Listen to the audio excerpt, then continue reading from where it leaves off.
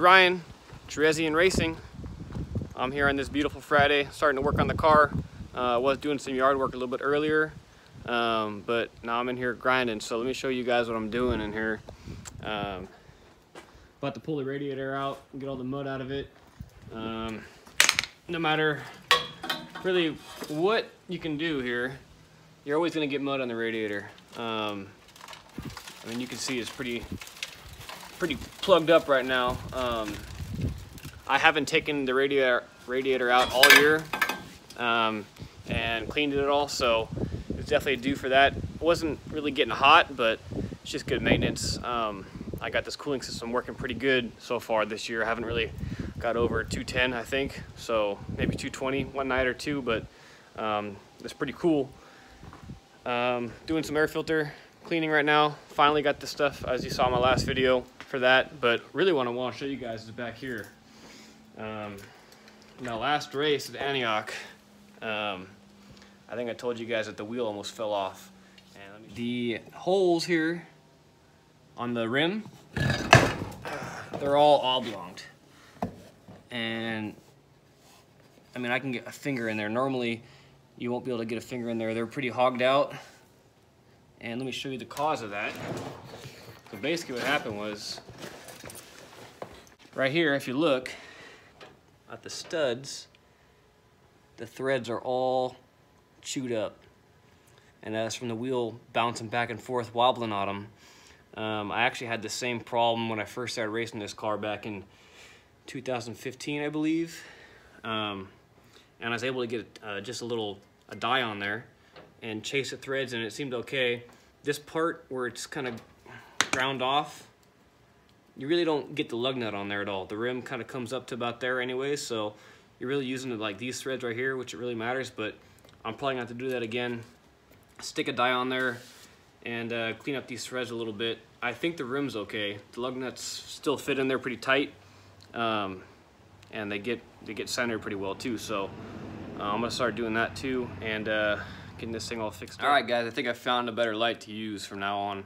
Um, this is a Snap-on uh, magnet light that has a little bit wider range of uh, motion here, so uh, I think it's a little better for using the camera and stuff. I'm still trying to figure out this whole videoing thing, so bear with me. Um, still learning little things here and there, um, but I can show you a little better now how much dirt really gets in here. See if this magnet will stick. Yeah. Um, I mean, it's just, it's plugged in here. You get, you get it in the fins of the rotor too. It just gets plugged up in there. So, I mean, you really can't do anything about it, but take it all apart every week and clean it out. Uh, make sure it's not getting bound up or anything.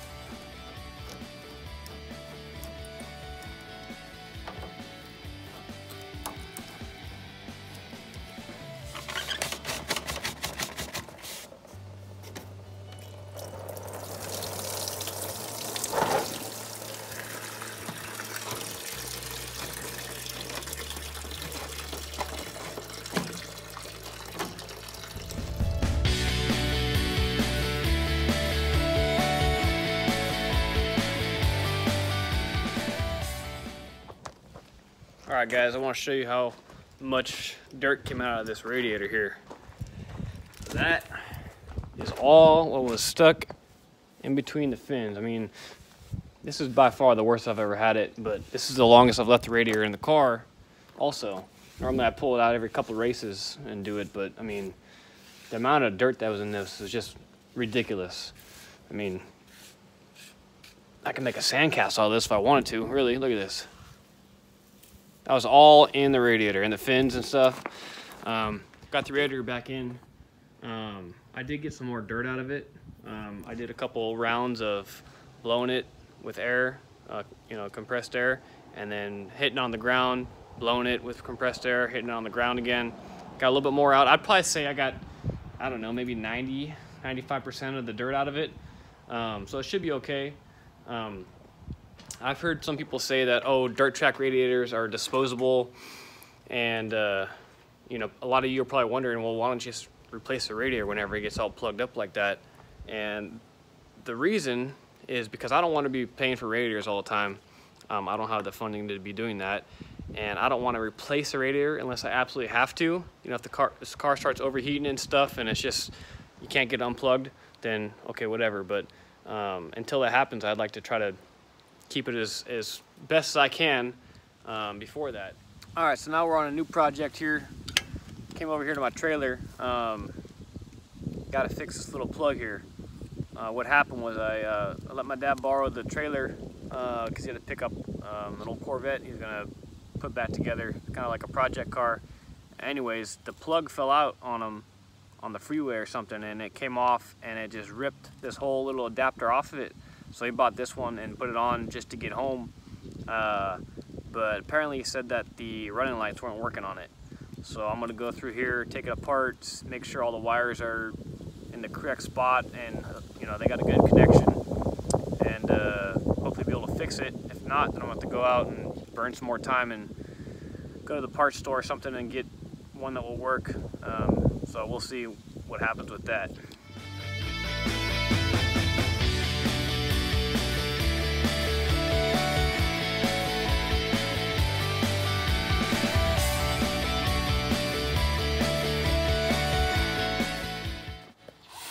Got a little sidetracked here. Crash Bandicoot came over and this is the problem. When you end up teaching your girl how to you know fix your car and how to do all the body repairs starts using zip ties to fix her own car. I want my car to look like yours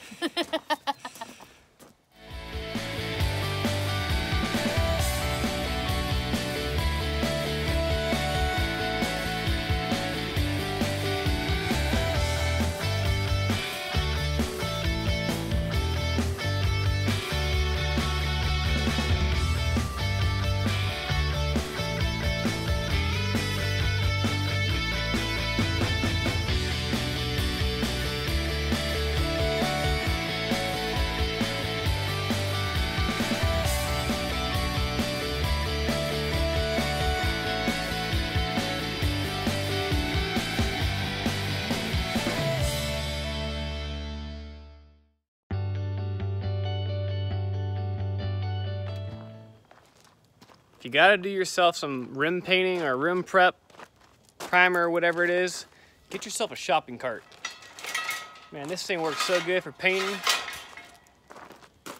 Local Rite Aid, Lucky's, Safeway, whatever. This one came with the house, so I didn't steal it.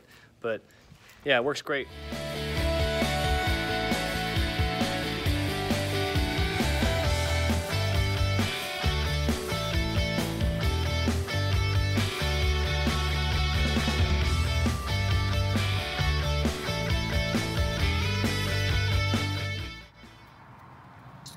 Alright guys, so I got that rim painted up and mounted. Looks okay. Um, basically the only reason I really wanted to paint it is because um, it was kind of getting all flaky. Um, the paint was flaking off and there was a bunch of rust. And basically what I wanted to do is I just wanted to kind of treat the rust um, so it doesn't really get any worse than it already is. Because like everything else, I don't like buying a bunch of rims. If I can fix the old one and make it work, then uh, I'll do that. So I'm pretty happy the way it looks. Um, I had to take another one off. You guys saw me do that because um, I had a sidewall leak and I mounted this one up. Um, this one I actually had to put a plug in. Put a plug in it. And I know it's an older tire and the sidewalls do weep a little bit, um, but it'll hold air for a night of racing. Um, this is just for the the left front anyways. And this thing really doesn't touch the ground a whole lot to begin with. So uh, I just try to get something that holds air on it, you know, through a race. So that one all hooked up.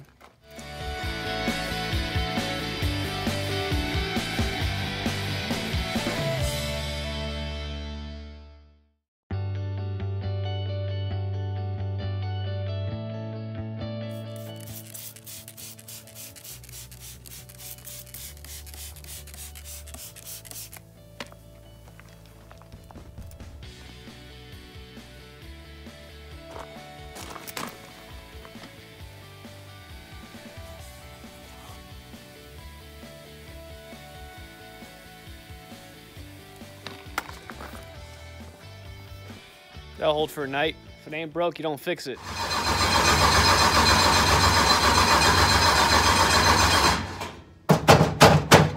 Give it a couple pumps.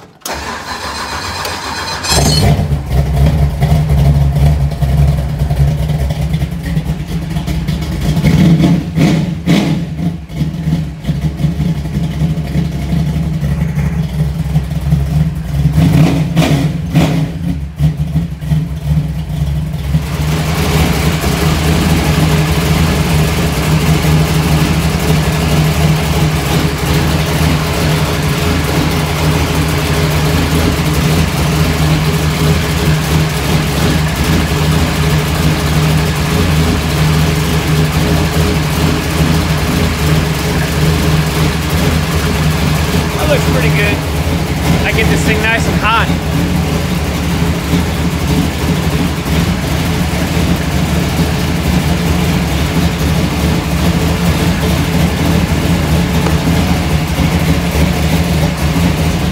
Kind of hard working one-handed here, but I put that in front of the radiator and kind of quicken up the time on it getting hot.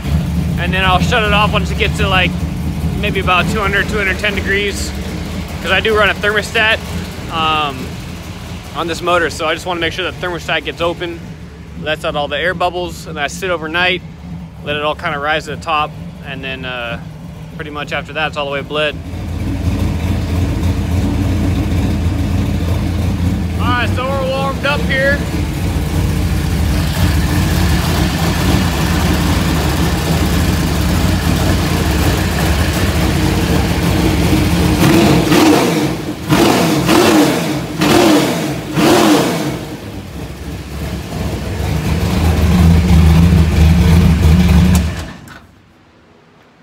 All right, so she's all warmed up. Uh, it's all pressurized. So we'll crack the cap tomorrow in the morning. Get all, get all the air bubbles out of it. Um, should be all right. Something I wanted to show you guys um, that I didn't get in the video was um, my radiator cap here. Um, I took it off today, it was a real pain coming off. It was all boogered up. And what happened is, if you guys remember the last race, got up on a guy in his left rear, I think, yeah, left rear uh, quarter panel and dented the front nose. What I didn't realize is it just barely clipped the radiator and it took that cap and it kind of twisted a little bit and it uh, looked just like this one that I replaced the cap a long time ago for. And it was pretty much the same scenario. I hit somebody, got into a little wreck, and this guy, I don't know if you can tell, um, you really can't see it, but it's it's kind of crooked. Instead of it being flat, it's kind of twisted. So, anyways, I ended up just getting a wrench on it, um, a little little plier uh, action, and twisted it back, and got it to work. But that's pretty much um, all for tonight. I did get the, the trailer fixed. Um, I didn't really get a result on that, but yeah, trailer fixed. Um, it was just the wires weren't um, all the way into the connector, so went ahead and fixed that. So I'm gonna wrap it up tonight. Be sure you guys subscribe, uh, comment, and like this video, um, and we will see you tomorrow for the big race. Thanks for watching, guys.